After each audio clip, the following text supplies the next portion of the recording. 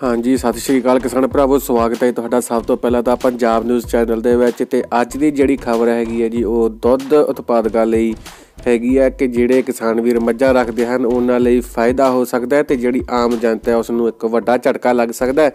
ਕਿ ਹੁਣ ਪਸ਼ੂ ਪਾਲਕ ਕਿਸਾਨਾਂ ਨੂੰ ਦੁੱਧ ਦੇ ਕਾਰੋਬਾਰ ਵਿੱਚ ਜ਼ਿਆਦਾ ਕਮਾਈ ਹੋ ਸਕੇਗੀ, ਕਿਉਂਕਿ ਦੁੱਧ ਦੇ ਰੇਟਾਂ ਵਿੱਚ ਇੱਕ ਵਾਰ ਫਿਰ ਵਾਧਾ ਕਰ ਦਿੱਤਾ ਗਿਆ। ਤੁਹਾਨੂੰ ਦੱਸ ਦਈਏ ਕਿ ਇਸ ਸਾਲ ਪਸ਼ੂ ਫੀਡ ਦੇ ਮੁੱਲ ਵਿੱਚ 35% ਤੋਂ ਜ਼ਿਆਦਾ ਵਾਧਾ ਹੋਇਆ। ਇਸ ਨਾਲ ਫੀਡ ਦੀਆਂ ਕੀਮਤਾਂ ਵਧਣ ਅਤੇ ਹੋਰ ਲਾਗਤ ਨੂੰ ਧਿਆਨ ਵਿੱਚ ਰੱਖਦੇ ਦੁੱਧ ਦੇ ਰੇਟ ਵੀ ਜਿਹੜੇ ਵਧਾ ਦਿੱਤੇ ਗਏ ਹਨ।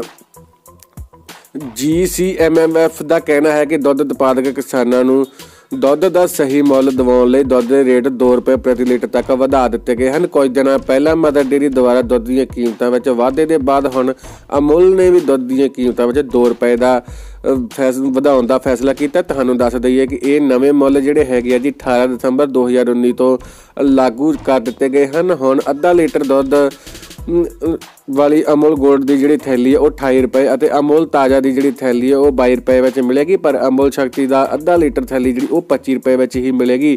ਤੁਹਾਨੂੰ ਦੱਸ ਦਈਏ ਕਿ ਮਦਰ ਡੇਰੀ ਨੇ ਵੀ ਦੁੱਧ ਦੀਆਂ ਕੀਮਤਾਂ ਵਿੱਚ ਭਾਰੀ ਵਾਧਾ ਕੀਤਾ ਹੈ। ਮਦਰ ਡੇਰੀ ਨੇ 3 ਰੁਪਏ ਪ੍ਰਤੀ ਲੀਟਰ ਜਿਹੜਾ ਦੁੱਧ ਦੀਆਂ ਕੀਮਤਾਂ ਵਧਾਈਆਂ ਹਨ। ਇਸ ਸਾਲ ਪਹਿਲਾਂ ਵਿੱਚ ਮਈ ਮਹੀਨੇ ਵਿੱਚ ਮਦਰ ਡੇਰੀ ਨੇ ਦੁੱਧ ਦੀਆਂ ਕੀਮਤਾਂ ਵਿੱਚ ਪ੍ਰਤੀ ਲੀਟਰ 2 ਰੁਪਏ ਦਾ ਵਾਧਾ ਕੀਤਾ ਸੀ।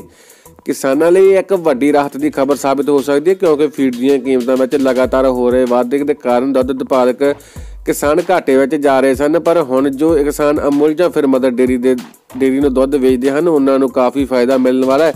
ਤੇ ਨਾਲ ਹੀ ਜੋ ਕਿਸਾਨ ਸਿੱਧਾ ਗਾਹਕਾਂ ਤੱਕ ਦੁੱਧ ਪਹੁੰਚਾਉਂਦੇ ਹਨ, ਉਹ ਕਿਸਾਨ ਵੀ ਹੁਣ ਆਪਣੇ ਦੁੱਧ ਦੇ ਰੇਟ ਵਧਾ ਕੇ ਵੇਚ ਸਕਦੇ ਹਨ ਤੇ ਆਪਣੀ ਕਮਾਈ ਵਿੱਚ ਵਾਧਾ ਕਰ ਸਕਦੇ ਹਨ। ਤੇ ਇਹ ਸੀਗੀ ਜੀ ਅੱਜ ਦੀ ਆਪਣੀ ਇਸ ਸਮੇਂ ਦੀ ਮਹੱਤਵਪੂਰਨ ਜਾਣਕਾਰੀ। ਜਿਸ ਜਾਣਕਾਰੀ ਨੂੰ ਵੱਧ ਤੋਂ ਵੱਧ ਸ਼ੇਅਰ ਕਰੋ, ਜਿੰਨਾ ਕੋਲ ਪਸ਼ੂ ਰੱਖੇ ਹੋਏ ਹਨ ਤੇ ਉਹ ਆਪਣੇ ਦੁੱਧ ਦੇ ਜਿਹੜੇ ਰੇਟ ਵਧਾ ਕੇ ਵੇਚ ਸਕਦੇ ਹਨ। ਤੇ ਅਸੀਂ ਹਾਜ਼ਰ ਨੇ ਤੁਹਾਡੇ ਲਈ ਕਿਸੇ ਹੋਰ ਜਾਣਕਾਰੀ ਨਾਲ ਹੋਣ ਦੇ ਲਈ ਇੰਨਾ ਹੀ। ਧੰਨਵਾਦ ਦੋਸਤੋ।